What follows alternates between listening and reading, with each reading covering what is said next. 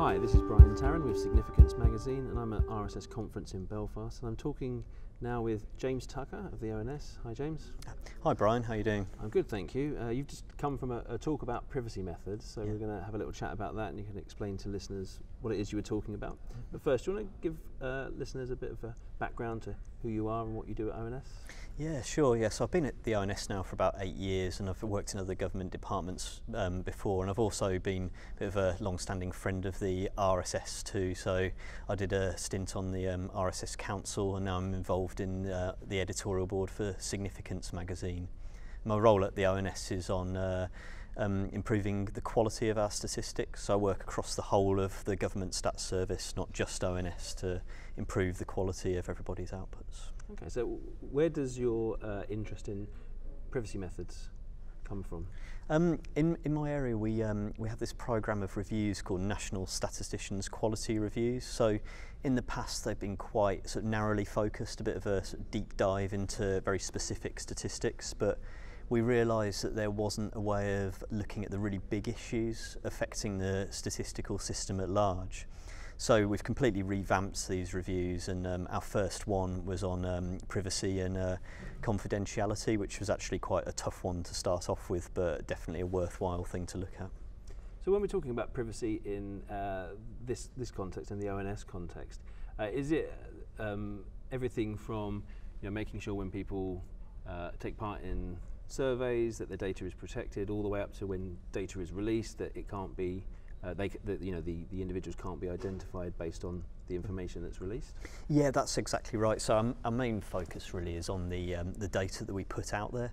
So um, what we found is that um, while there's a huge amount of um, new data sets available, and this is really exciting for people working on data, it opens up all sorts of new opportunities for, to innovate with data, and essentially people are like a kid in a candy store with it. But on the flip side, the um, it does also open up more ways for mal malicious people to kind of use that data for their own ends. So we have to keep pace with all the all of this and make sure that all the methods we use are fit for purpose still.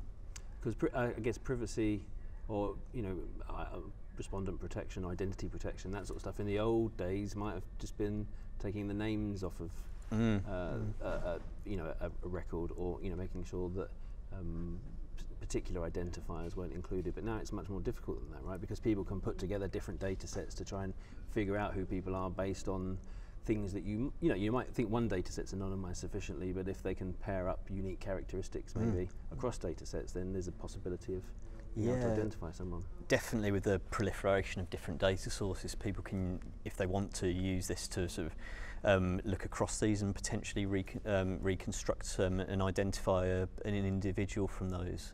Um, another sort of emerging issue is the use of social media. So people put a lot of information on social media, and um, although there are privacy settings on most of the platforms, really have to go from the premise that um, everything you put on social media is public, because as soon as you share something, regardless of your privacy settings, somebody else could then share that and then it's out into the public domain. And um, with these sort of supplementary pieces of information, that adds a, yet another dimension to the complexity of this.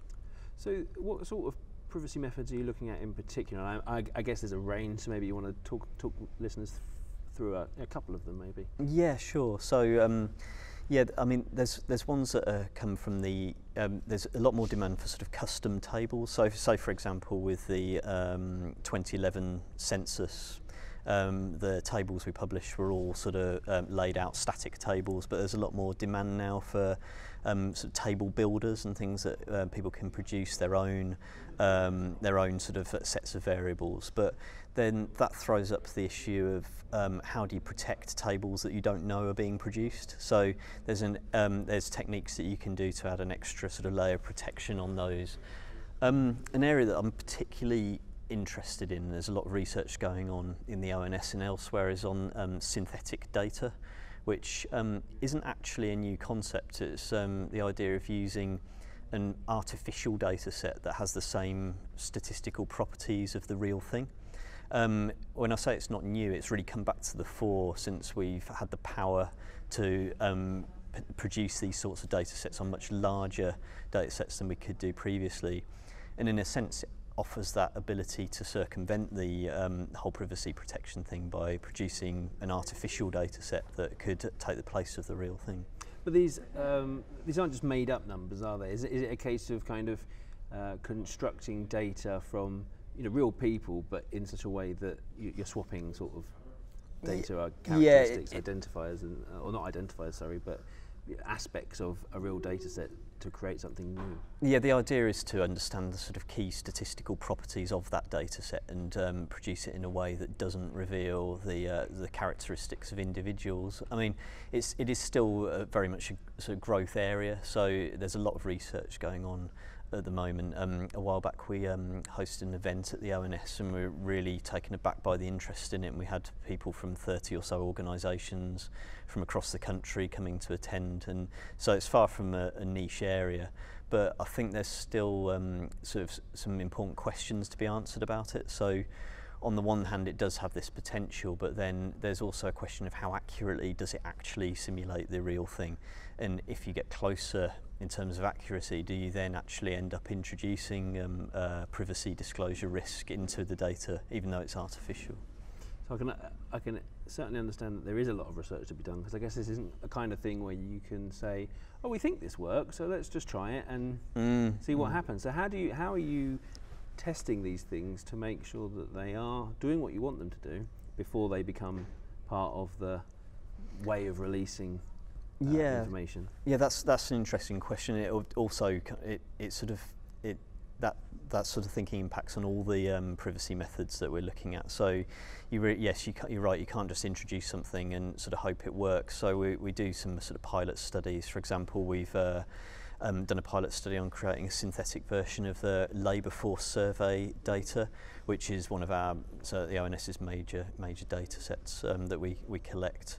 Um, also an area that we're looking to expand is on um, intruder testing. So that's where you have to, you know, really get into the mindset of somebody who wants to crack these data data sources, and that's actually harder than it sounds because um, if you bring in sort of um, people who are kind of friendly sort of intruders trying to trying to sort of um, get something out of the, the, these data sets, they might not have the level of determination and deviousness perhaps that um, you know the, the real sort of criminal would have with them.